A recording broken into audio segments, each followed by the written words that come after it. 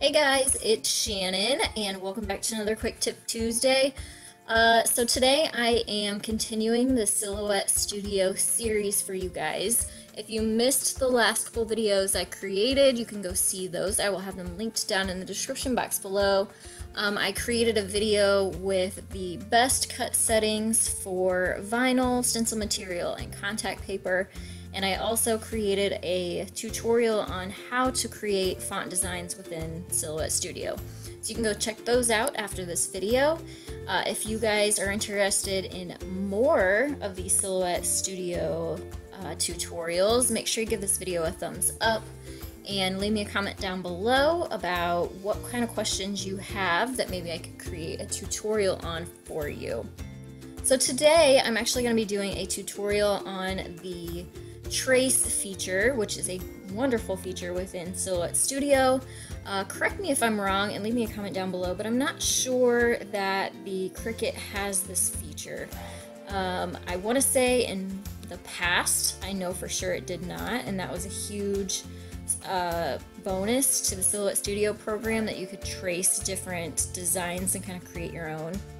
But this is definitely a huge perk for Silhouette Studio if you have a silhouette, a cameo, um, or a portrait machine. And let me show you, this is just a design, this is my logo that I created in Photoshop. So I just basically went up here, file, opened it, and this is what pops up as your file. It helps if your design is very simplistic, so black and white. If you have a colored design and it's all one color, then that's fine. However, if it's black and white, it does help uh, make the, the tracing process a little easier. So once you have your design opened, you just come over here to this, I always, to me it looks like a piece of bread or a piece of toast over here, this little icon, which takes you into the trace panel. And then you'll come up here to the select trace area and click on it what it's going to do is going to create this uh, drag box. So you're basically going to drag a gray square over your design and whatever's within that gray area is what it's going to trace. So once you have your design overlaid with that box, you just let go of your mouse button and it automatically selects that black from your design and you can either do an outline of your design so you can see the, the very thin yellow here so it will just do an outline of it. Most of the time I use the filled in design.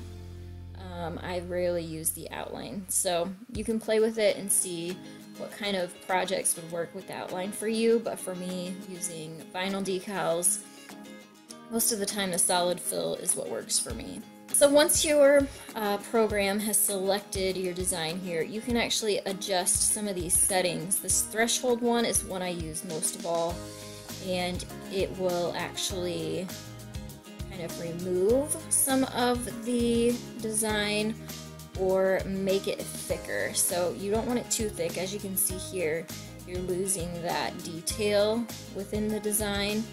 So you just drag it back and forth until your design you see is what you are wanting traced with your machine. And then once your design is set up and ready to go, you just hit this trace button at the bottom. And then what I do is I drag my design off and I just delete that because we don't need that anymore. And then I select my design. I usually fill it in with black just so I can see it against the white background and then you can come in here and zoom in and just check your design. Make sure it's nice and crisp. As you can see my design has some flaws here. You can come back in with the erase tool. And kind of clean that up if you wish.